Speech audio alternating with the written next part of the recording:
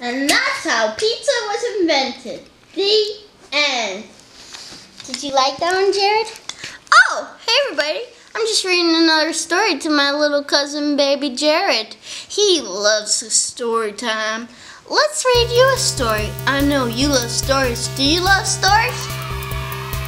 I knew it.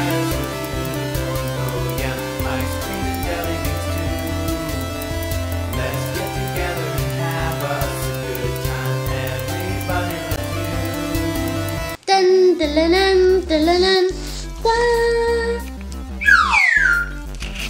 Today we're reading the story of yoga. Once upon a time, there was a teacher who taught a lot of ballet, but she realized she was bad at ballet.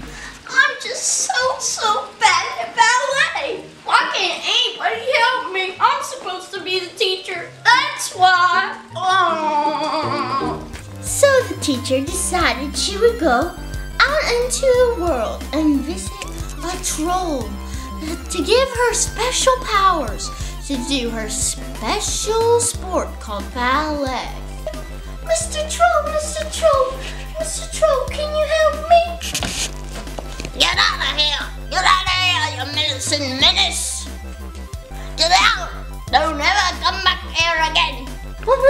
Troll, Mr. Troll, I have a big question.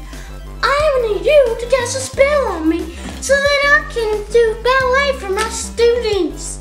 Because I'm a ballet teacher. Ballet? Huh? I ain't know nothing about no ballet. But I do know about yogi. Yogi? What is a yogi? I'm a yogi. You're a ballet teacher. Not. Huh, gotcha. Now, I'm gonna teach you how to do yoga. It'll make you real bendy, and you can teach them more cooler things than to stand on their tippy toes. Got it? Okay, but where's yoga from? Well, that's the moral of the story, little lady. I invented yoga. Let's do it. Um, Downward dog.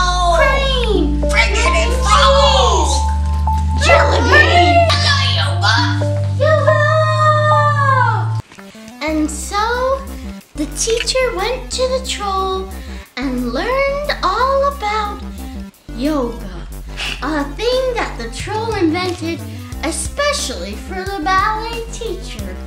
And then they did yoga together. And then she taught her students and made millions of dollars as the creator of yoga. She stole the troll's idea and he sued her for millions and millions of dollars. Now, if someone gives you an idea, don't say it was yours, because then the troll will sue you for millions and millions of dollars. The end. Thanks for coming to story time. Did you like it? Oh, shh. He fell asleep. It must have been a boring story. Let's say goodbye. Goodbye, Jared. So good.